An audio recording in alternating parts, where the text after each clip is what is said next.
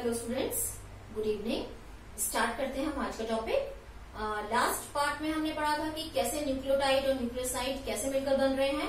अब उसका स्ट्रक्चर अब हम डिस्कस करने जा रहे हैं कि न्यूक्लियोटाइड कैसे बनता है, कहाँ पर शुगर के साथ, कहाँ पर नाइट्रोजनस बेस जुड़ता है, कहाँ पर फॉस्फेट जुड़ता है. तो स्टार्ट करते हैं स्टूडेंट तो पेंटोज शुगर आप पढ़ चुके हो तो पेंटोज शुगर का पहले हम एक स्ट्रक्चर बना लेते हैं. पेंटोज शुगर internet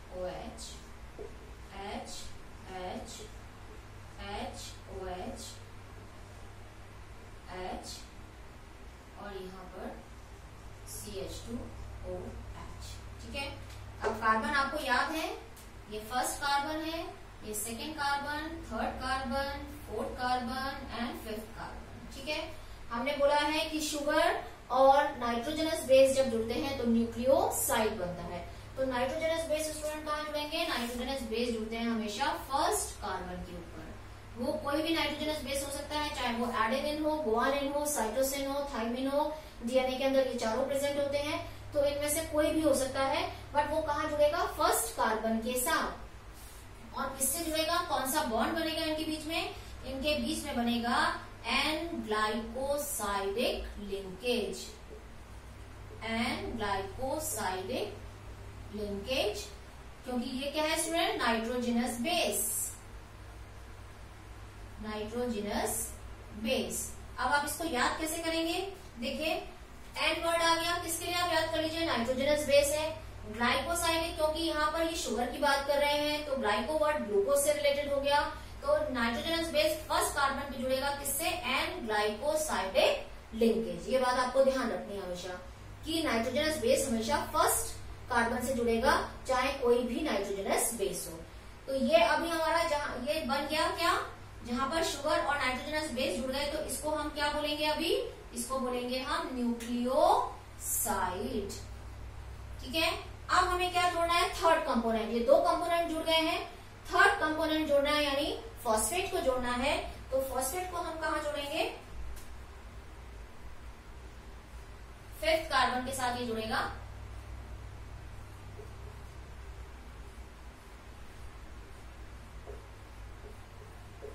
ठीक है? अब इसमें से देखिए, यहाँ से हम ये वाटर मॉलिक्यूल को रिमूव कर देंगे। ये वाटर मॉलिक्यूल यहाँ से रिमूव हो जाएगा। ध्यान से देखिएगा, कहाँ से मैंने हाइड्रोक्सिल ग्रुप और कहाँ से मैंने हाइड्रोजन ग्रुप को रिमूव किया है। तो ये वाटर जब रिमूव हो गया तो मैं इसको ये रिमूव कर रही हूँ और इसको ऑक्सीजन को हम बीच में ले आते हैं। वाटर रिमूव हो गया। कहाँ जुड़ा है ये? फिफ्थ कार्बन में। कहा जुड़ा है स्टूडेंट फिफ्थ कार्बन के ऊपर जुड़ा है फॉस्फेट और इस जो ऑक्सीजन है, इसको हम बीच में ले आते हैं।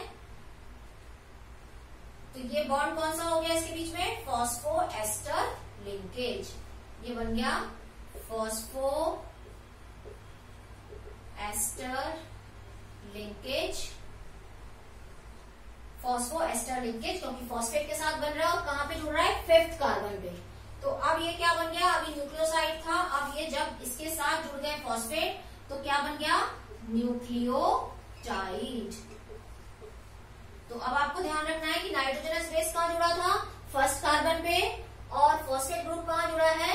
फिफ्थ कार्बन पे। तो इसके बीच में कौन सा बॉन्ड बना? फॉस्फो एस्टर लिंकेज और जब ये जुड़ गया तो क्या बन गया? न्यूक्लियोटाइड। ये इससे जुड़ा था एन ग्लाइकोसाइडिक लिंकेज से और क्या बना था? न्यूक्लियोसाइड। तो ये स्टूडेंट अभी बना है एक न्यूक्लियोटाइड। ऐसे बहुत सारे न्यूक्लियोटाइड आपस में जब जुड़ेंगे तो क्या जन बनेगा?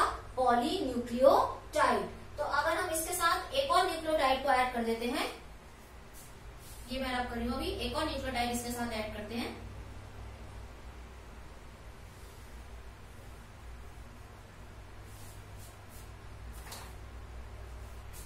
यहाँ पर हम एक और शुगर बना लेते हैं pentose sugar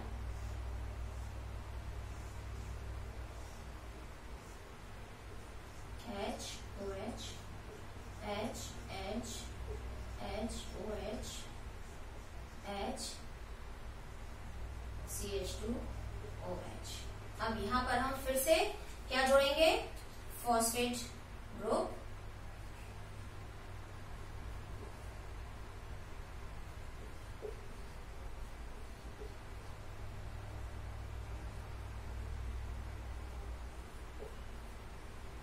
ठीक है? अब देखो क्या होता है। यहाँ पर हम फ़र्स्ट नंबर पे जोड़ देते हैं। नाइट्रोजनस बेस को कोई भी ले सकते हैं। मान लो हमने यहाँ पे ले लिया जी ठीक है? अब देखो क्या हुआ। वाटर को रिमूव करते हैं। कैसे होगा वाटर को रिमूव ये देखिएगा कि यहाँ से एक तो ये रिमूव हो जाएगा जो हमने यहाँ पर बॉन्ड बनाया था, उसी तरह से ये वाटर रिमूव हो जाएगा। ठीक है? अब एक क्या होगा? थ्री और फाइव कार्बन के बीच में ये जो हाइड्रोक्सिल ग्रुप है, ये और ये रिमूव हो जाएगा, यहाँ से हाइड्रोजन ठीक है? तो देखिए, दो जगह से क्या हुआ? दो जगह से रिमूव हो रहा है थ्री और फाइव ये कार्बन आपको नंबर याद है ना? First carbon second carbon third carbon fourth carbon fifth carbon तो अब क्या हुआ? यहाँ से वाटर रिमूव हो गया एक, और एक वाटर यहाँ से रिमूव हो गया। मैं ये वाटर को रिमूव कर देती हूँ यहाँ से।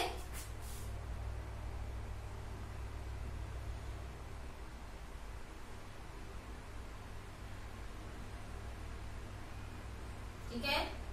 और यहाँ से भी रिमूव कर देते हैं।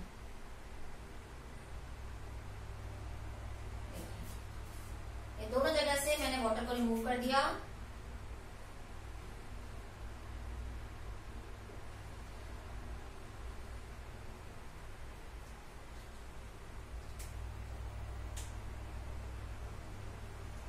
तो ये क्या बन गया? देखो three five phospho diester linkage. ये दो न्यूक्लियोटाइड आपस में जुड़ गए। क्यों बोल रहे हैं इसको एस्टर ग्रुप देखिए, दोनों जगह क्या आ रहा है? ओ ओ। एस्टर बॉन्ड बन रहा है। दोनों जगह वो आ रहा है। Three five prime, three prime और फाइव प्राइम के बीच में बन रहा है क्या? Phosphodiester linkage. फॉस्फोडाइस्टर लिंकेज, यानी दो न्यूक्लियोटाइड आपस में ऐड हो गए। देखिए, दोनों जगह वो आ रहा है, इसलिए क्या हो गया? Ester bond. एक्चुअली में यहाँ पे बन रहा है, पर दो न्यूक्लियोटाइड है हैं इसलिए इसको नाम क्या हो गया? Phosphodiester linkage. ठीक है?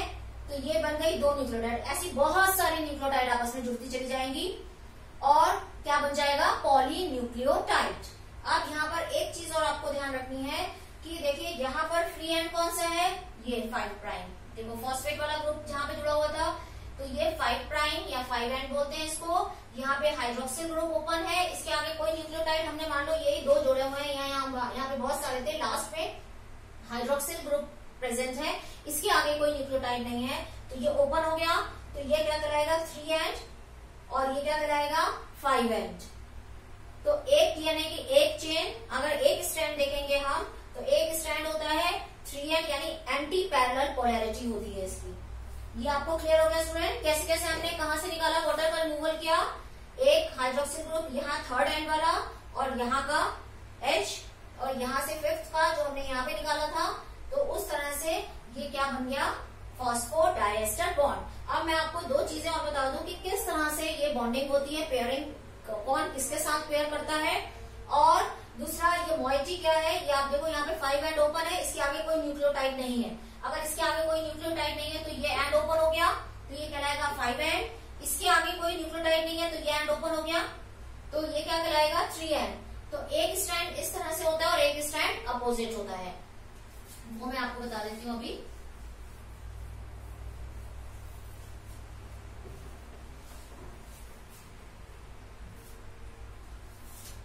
जो मैं अभी बात कर रही थी।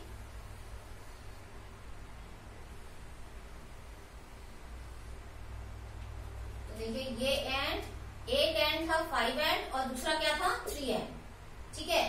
तो अब दूसरा एंड होगा यहाँ पे थ्री एंड और ये होगा फाइव एंड यानी इसको हम क्या बोलते हैं? Anti parallel polarity anti parallel polarity यानी एक का फाइव एंड है, दूसरे का थ्री एंड एक का थ्री एंड है, दूसरे का फाइव एंड तो इस तरह से डीएनए का स्ट्रैंड जो है वो डबल हेलिक्स जो है वो हेलिकली बाउंड होता है एंटी पैरल पोलैरिटी में। इसको अभी हम दोनों स्टैंड को, अभी हमने एक स्टैंड की बात की, अभी हम सेकेंड स्टैंड की भी बात करेंगे। पर मैं पहले आपको पेयरिंग बता दूँ, कौन किसके साथ पेयरिंग करता है। एक प्यूरेन और एक प्रेमिडेन अटैच होता है। एक प्यूरेन और एक प्रेमिडेन तो कौन सा प्यूरेन किसके साथ अटैच होगा?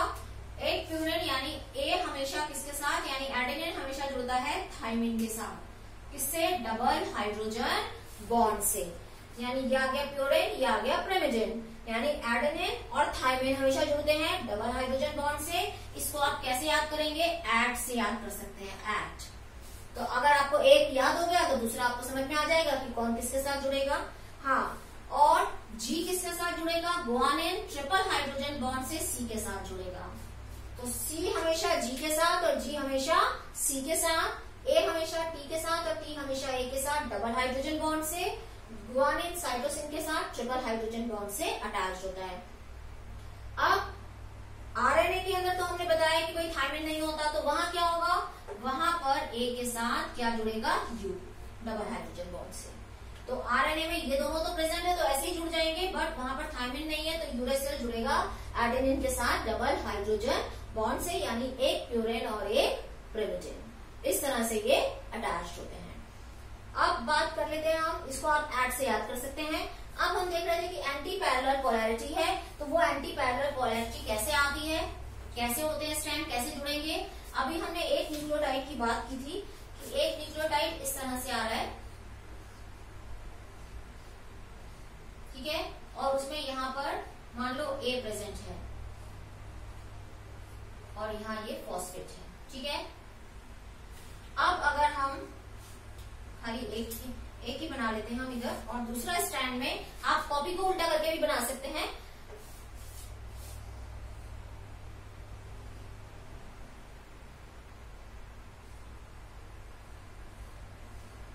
कॉपी को आप उल्टा करके बना लीजिए तो आपको ज़्यादा मुश्किल नहीं आएगी बनाने में।